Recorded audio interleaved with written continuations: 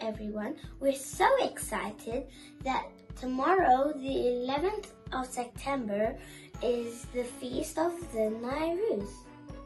Nayrouz marks the first day of the Coptic year. On this day, we also commemorate all the martyrs in our Coptic Orthodox Church. A martyr is a saint who had to die for the Christian faith. All the martyrs are, uh, are our friends. In heaven, they pray for us and we ask for their intercessions. Jesus had 12 disciples. All of them were martyrs except St. John. Our Coptic church has thousands and thousands of martyrs.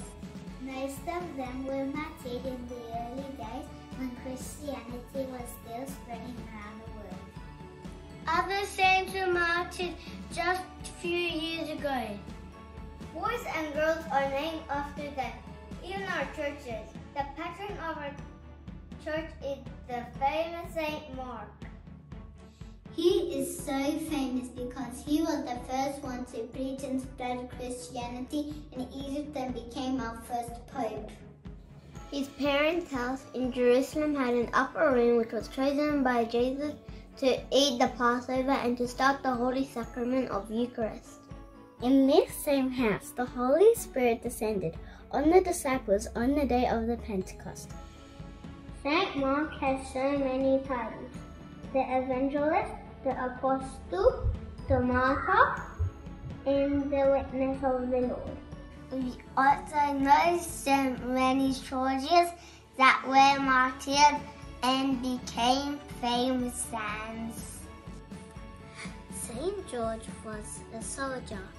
He is titled the Prince of Martyrs because he was an actual prince in the Roman army with 5,000 soldiers under his command.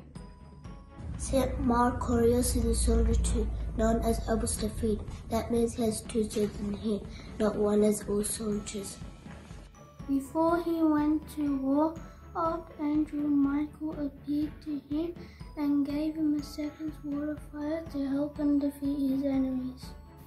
There's another famous Egyptian soldier. His name is Saint Mina. My dad's name is after him.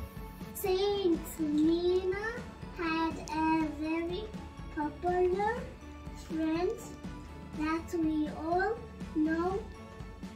Yes, that is right. He is. Pope Kyrillos always asks Mina's intercessions, and now they are both our friends in heaven.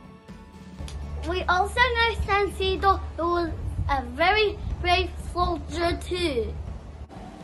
We love so many saints and church, especially who were children just like us. We love Saint Apollon. He was 12 years old when he was martyred. He loved God so much and he was brave enough to declare his Christianity in front of everyone, although he knew he could be killed for it. Archangel Michael helped him so many times through his journey and because of Saint Apollon, many people believed in Christ. We also met another brave deacon that was 12 years old when he was martyred, who was named. Although he was a child, everyone called him Anba, which means father, because he was a spiritual father for many. He's also the patron of our kids' church. We celebrate his feast on the 25th of November.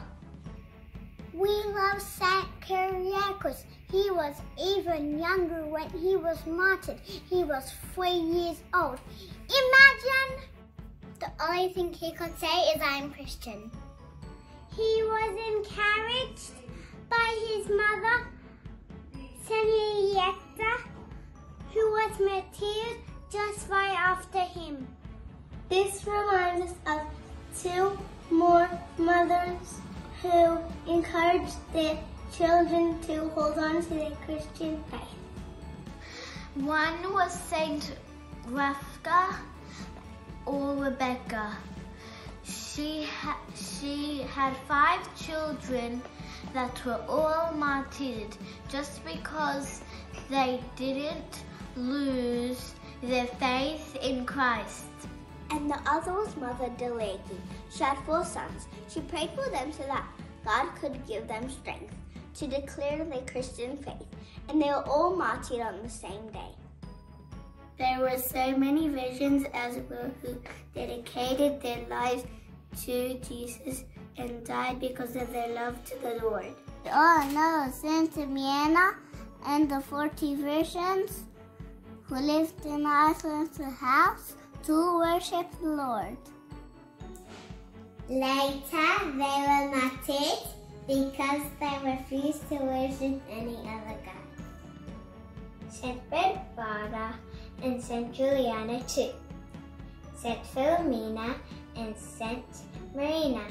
They all refused to leave their beloved Jesus Christ. Mention every saint in our church. It will take days and days.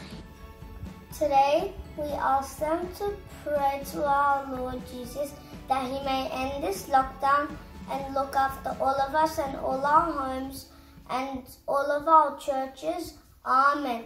Happy Nayrouz, everybody.